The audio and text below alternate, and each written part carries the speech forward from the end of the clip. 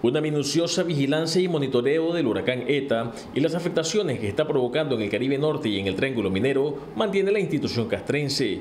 Una de las principales acciones ha sido el traslado de personas hacia los albergues para garantizar sus vidas. En la comunidad de Guababar se realizó la evacuación de 325 personas. Se emplearon cuatro unidades de lancha rápida en, en la dirección Lanlaya-Puerto Cabeza.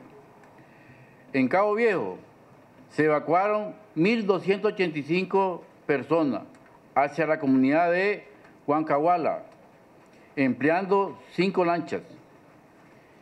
En la desembocadura de Río Grande, Sandibey Sirpi, Hualpa, evacuamos 138 hacia Caraguala.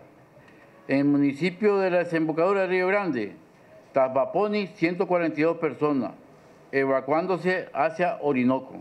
Unos 9.000 efectivos militares se encuentran en la zona, incluyendo los destacamentos ante desastres naturales. Además, se cuenta con equipos navales, terrestres y aéreos para enfrentar la emergencia. 2.300 efectivos militares, ¿verdad? Eh, en constante actividad, cumpliendo misiones. Eh, pero además de eso,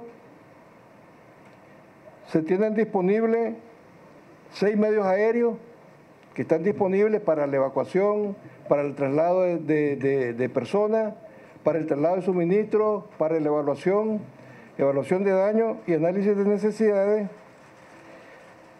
y exploración aérea. Tenemos además 30 medios de superficie que se encuentran también disponibles para estas labores de auxilio y socorro a la población. Hasta el 3 de noviembre se han realizado unas 500 misiones, sobre todo las dirigidas al traslado de suministros y evacuaciones. También se mantiene la suspensión del SARPE y se ha garantizado el resguardo de 131 embarcaciones pesqueras. Héctor Calero, TV Noticias.